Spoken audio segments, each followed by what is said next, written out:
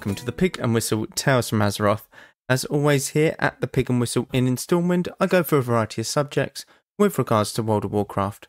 I grab a bottle or a pint, sit back and enjoy. This episode, we'll be going over the War Within, the latest expansion, the three latest expansions that World of Warcraft will have to offer, and uh, for those who are wanting Cataclysm and the season of Discovery, we'll be going at, over that at a later time. The Cataclysm will be next week, most likely, and uh, season of Discovery will be the week after, as that is the week that uh, the game or season of Discovery will be released. So, it just makes more sense to do it at that time. But with uh, that being said, uh, we will obviously get into the weekly news. Um, uh, Liskanoth and uh, Zaqali Elders are your world bosses for the week. The new world boss does not appear until next reset, so next Tuesday for NA, Wednesday for EU. Warlords of Draenor Time Walking is your bonus event for the week. You can uh, purchase mounts, reputations, pets, etc. from um, Ashran using Time Walking badges, so please do so if you are interested in any specific mount. Deep Six is your brawl for the week. This is a 6v6 battleground, and essentially it's played on very few maps Temple of Kotmogu, Warsong Gulch, stuff like that. And it is just a very simple 6v6. Um, I do want to throw in there the Battleground Blitz is uh, kind of a brawl at the moment as well. Essentially, it's an 8v8 and the mounts are very fast. They're very fast, 150% movement speed, I believe. And essentially, this is what's going to be the ranked battleground system, the solo shuffle battleground system. Um, I'm pretty sure that's what it is going to turn into, and it, it's kind of in its pre beta, but not really beta stage. Essentially, it is very much the a different spin on battlegrounds where something's a bit faster, your mounts and stuff, but the objectives are a bit different. So, for example, the one that I had, it was oh my god, I've forgotten the name of it. It's the Pandaren one, twin. No, not the twin one. Um, not the flag carrier one. You know the one where it's got five different bases, like Arathi Basin. I've completely forgotten the name, and it's completely eluding me. Um, but essentially, it's kind of like a Arathi Basin. You have five different capture points, and you click the flag to capture the point. But the twist on it was that someone had to actually be at that flag. You had to stay within a certain radius of the flag before you could cap it. And this uh, allows the uh, opposition to not necessarily just have a shit ton of rogues where you can sap and then cap the flag, or sap and then they trinket the sap and then you blind them, just cap the flag anyway, that kind of deal. You had to be within a certain radius of it. And uh, it's kind of like a percentage thing. So if you had two alliance there and one horde, uh, it would slowly cap alliance side. If you had two horde there and two alliance, it wouldn't be able to be capped for a while. And if you had more horde there than alliance, it just straight up wouldn't be able to be capped essentially by the alliance because you need to be in favor of it uh, numbers wise, I believe. Anyway, um, I'm not too sure if mythics are happening this week, as season three technically hasn't started yet, but if there are, the uh, affixes would be afflicted, bolstering, and tyrannical. Afflicted, you have to help out certain NPCs um, by healing them. Bolstering, um, every time a mob dies, it yells and gives damage and uh, health increase to those uh, NPCs around it, the mobs around it. And tyrannical, the bosses and the minions that they spawn do have increased health and damage, so bring a talent build to accommodate for that. Now, let's get into the war within. So, Blizzard announced at BlizzCon that they are doing a saga, essentially, a three um, expansion saga. Now, the idea about this is that they're going to release them a bit quicker, at a faster pace, maybe one every year, maybe, potentially. Um, because the way that we have expansions is um one every two years. You know, you start off in November, then by the time that you get to November this time, um, you're at 10.2, which is halfway through the patch, and then uh, in a year's time, you know, you're into your next expansion. That's how it works. That's how it's always worked, and that's the way that we imagined that it was going to stay. Now we knew that there was going to be a expansion but we didn't expect three. So all of them will be named very shortly. I do hope that they bring these out at a smaller, like, or at a shorter time span. I understand, like, they want to get stuff perfect, but honestly, non perfect stuff is very fun to deal with as well. Speaking of non perfect stuff, I do want to have a little bit of a detour. For those that do PvP, um, something has kind of happened in the game that kind of breaks it in terms of bugs. Um, I don't really know if I want to share this, but essentially, physical slows such as hamstring, um, concussive shot, even um, rogue poisons, anything along them lines, they persist when uh, trying to remove them. So, what do I mean by this? So, if you were to apply a hamstring, which is a 50% slow, physical slow, to a target, and you use a blessing of freedom from a paladin, that blessing of freedom should remove the hamstring debuff completely. It would just remove the debuff. This is no longer the case.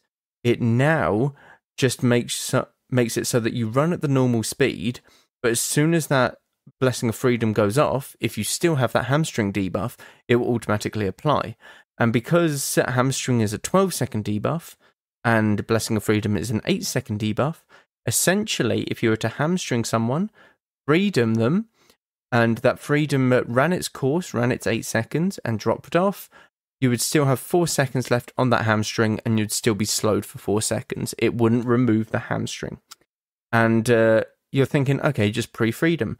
Even if you have freedom on you beforehand, you can hamstring into the freedom so that you can have a slow on them for after that freedom, which shouldn't happen. Any sort of uh, dis- or slow should be dispelled with Blessing of Freedom, through shapeshifting as a druid, through anything. It's so bad that if a paladin is to bubble a complete immunity, yeah, you're immune to everything, you can hamstring them and slow them using a physical slow in that bubble. You can apply hamstring while they are like immune. That is the same for a mage's ice block. You can apply hamstring or a physical slow to someone, a mage, in an ice block. And this is not the case. It's massive. Please, like, try and get this out there because it is massive for PvP. And we want this resolved before the season three start because um, it kind of breaks a lot of the classes. Uh, in terms of druids, a lot of your strong um, utility comes from not being able to be slowed as often or not as easily through the use of shapeshift, and you cannot get out of them um, it simply does not remove the debuff. If um, yeah, and and that's game changing. Um, yeah, so I thought I'd let everyone know about that. It's great fun. It doesn't work with magical um slows. So we tried the mages slow. We tried chains of ice. Strangely, um, gets removed with like freedom and stuff. It, it does its usual mechanics essentially. But yeah, any physical slows, uh, piercing howl, uh, hamstring, rogue poisons, concussive shot, um, yeah, anything along them lines. Concussive shot's a bit of a weird one because it's magical, but I think it's still classed as a physical because it was in the past. I don't know. It, it's a bit of a weird one. Um, but yeah, anything along them lines uh, are bugged at the moment and they need to be addressed. So please try and get the word out there with that. Um, but yeah, back to the War Within. So three expansions. We have uh, World of Warcraft: The War Within, World Warcraft Midnight, and World of Warcraft: The Last Titan.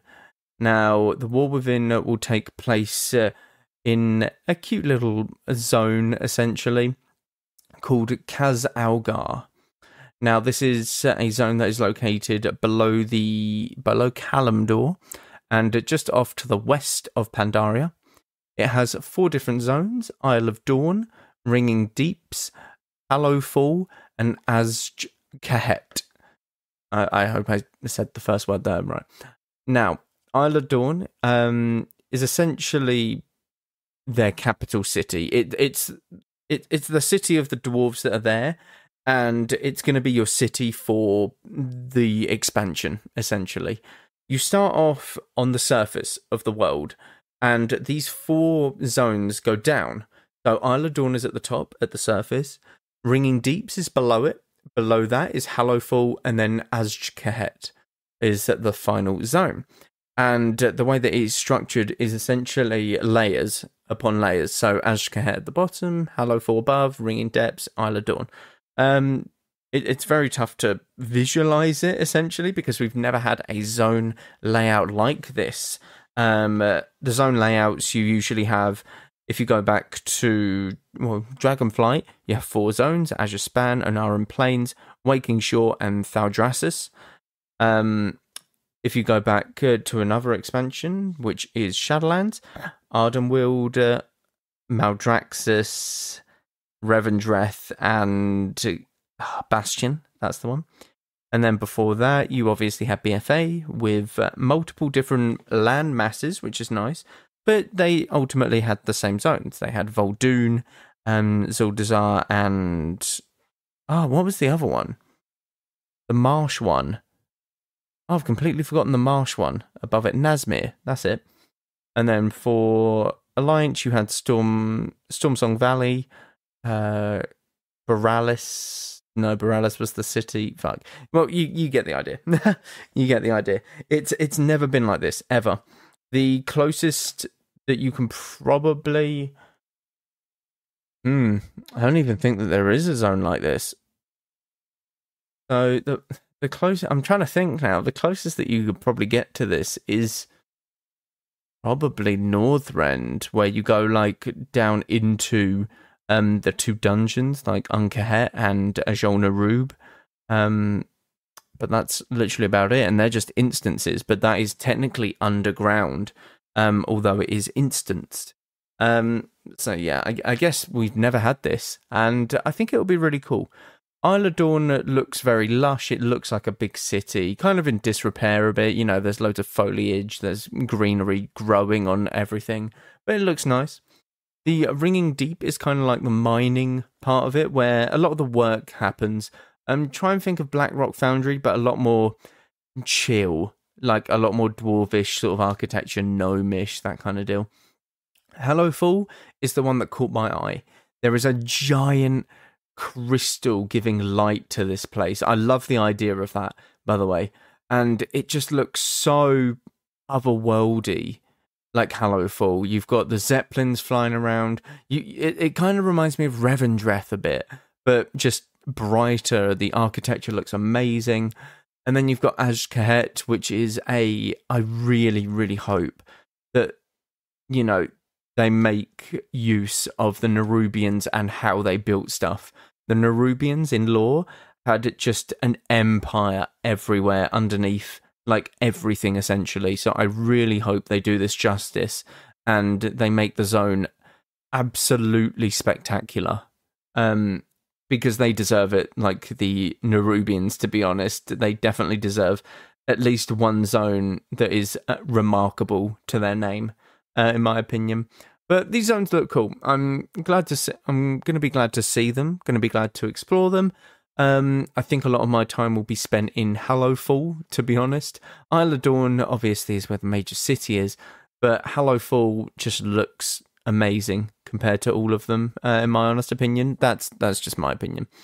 All of these zones will have the dynamic flying, so you can uh, go to the TBC flying, uh, if you want, or you can stick with the dragon riding flying. And personally, I'm going to be sticking to dragon riding flying. I find it so much more interactable and a lot more enjoyable, to be honest, rather than just hitting numlock and going in a straight line. Plus, uh, um, older models of mounts are able to be ridden as if they were dragon riding.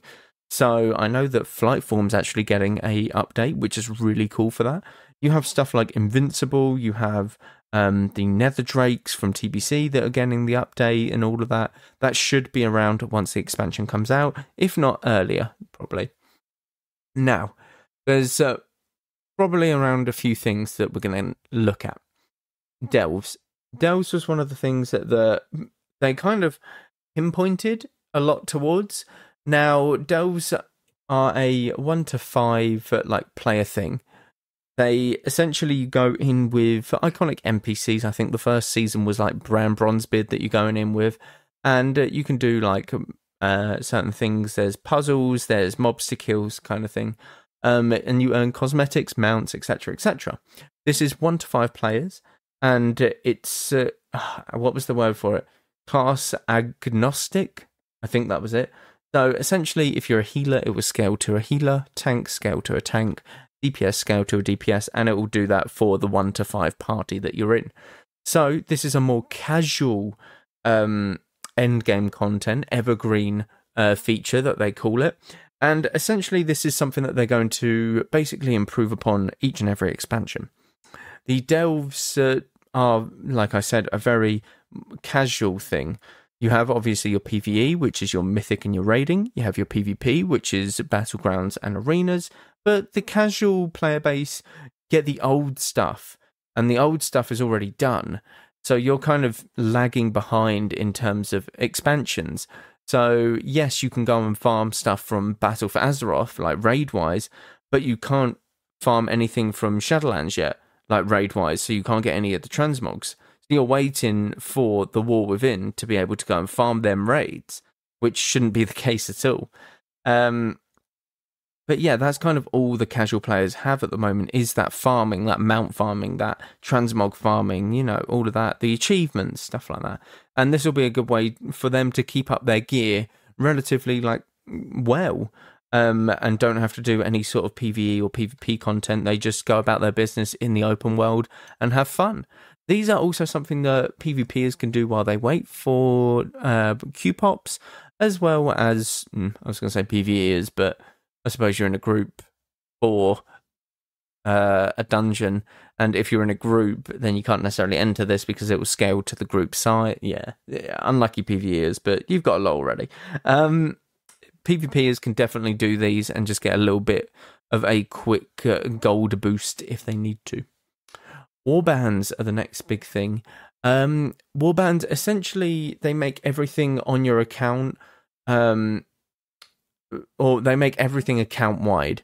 So they're going to eventually look at doing reputations, collections, achievements, renown, um, bank access, absolutely everything, and they're going to share it between your characters. Um, the reputation is a massive one because they did say farming it on a different character, like the reputation, can be a bit tedious and annoying. So that is what they're hoping to eliminate, which is very good. Now, the warbands, what I'm hoping for, they did show a little bit of a screen or a preview. Essentially, they've got the characters, your characters, uh, all sat around in a camp, around a campfire. And I really hope that they do this. And this is like the main login screen now. You kind of pick your character via clicking on the camp. I think that will be really cool. Um, but yeah, they'll show like your little characters all in their transmog, sat around a campfire, you know, chilling and stuff. And it, it will just be a really nice sort of different view on the main menu because we've we we've never had something different, never on the main sort of login screen um, for twenty years nearly. Yeah, nearly 20 years because you've obviously you log in and you go to your character select You've got your character and then your characters on the right that you have, your alts. That has never changed in 20 years. That's always been obviously visual updates and stuff and the backgrounds of like the characters, like the Tauren and stuff has obviously been updated, but that itself, the core fundamentals of it has never changed. I could be completely wrong, but I'm pretty sure I'm not in this instance. Um, so I think it will be really fun to just. It's the small things that obviously are going to change that and uh, or change the way that you feel about the game because it will feel fresh essentially hero talents these are the ones these are the bad boys that i cannot cannot wait to like see essentially so hero talents are going to be a talent specialization that you are given um, for your class now each talent tree or each specialization each class has three different specializations. Demon Hunters and Druids are a special case, as they referred to it. Now, these uh, specializations will share a specialization. I say that way too many times. I don't like it. And uh, it has many different forms. So I'm going to only pick out a few because I'm not going to go over all of them. Uh, Death Knight has, I'll, I'll go over one from each class that sound the coolest. Rider of the Apocalypse for Death Knight, Fel-Scarred for the Demon Hunter. I, I like Elune's Chosen. It's got to be Elune's Chosen for uh, Druid. Evoker, Chrono Warden, Hunter, Dark Ranger. Loads of people will be liking that one, just saying. Mage, Spellslinger, Monk, uh, Conduit of the Celestials, Paladin, Herald of the Light, Priest. All of these sound really cool, but Void Weaver we'll go for. Rogue, death stalker, Shaman, to- uh, I like Stormbringer actually. Stormbringer or Farseer. Warlock, Diabolist. Oh, that sounds so good.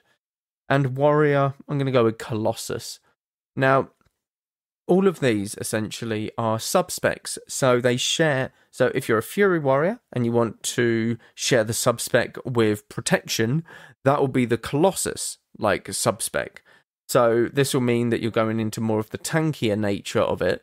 Um, the ones that they showed are the Druid ones, and they're the ones that I have seen the most. So I'm going to be going over them as an example. So you have Keeper of the Grove and Elune's Chosen. Now this is for balanced druids.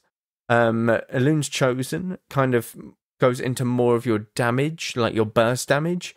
Keeper of the Grove is more sustained damage, more, you know, sort of buffing up for bigger hits essentially and more consistent damage. Um, and you have about five rows of things. So you have one one talent at the top, like you usually do in every single specialization, and this will give you your baseline for the talent, the hero talent. That'll be this is purely example, five percent damage increase on your Starfire. Okay. Now there are obviously nine different choices. There's three different nodes to go down, and at the bottom you have something that amplifies the top. Um, node essentially. So it will just be another five percent damage on your Starfire. Yeah, that kind of deal. You, you kind of get the idea. It, it, really wants to hone in on what you're amplifying, um, essentially from that top node. The others are obviously going to change how you play your specializations every now and again. Um, these can be switched out completely at will and obviously you just need to not be in combat so which is really good you don't need to go to a trainer or anything um, I'm pretty sure you can switch between the others as well. So if you are Elune's chosen and you wanted to go to Keeper of the Grove, I'm pretty sure you can do that. You just don't need to be in combat, or you just don't. You just shouldn't be in combat in order to do so.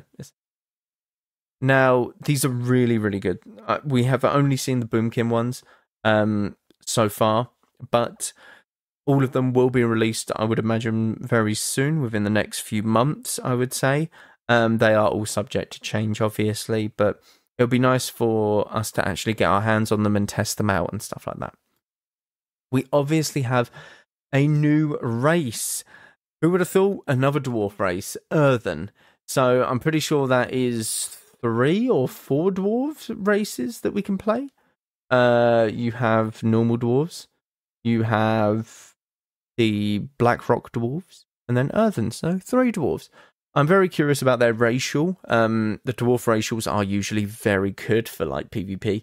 Um, but yeah, essentially you unlock these guys by completing the main campaign, and they will just join you. There's no rep required. It is just simply do the campaign, and you will be able to make one of these earthen dwarves, which is really really cool. Uh, they did show some cosmetics, and there was a female dwarf with a magnificent beard, and it looked amazing. So definitely want to make one of them.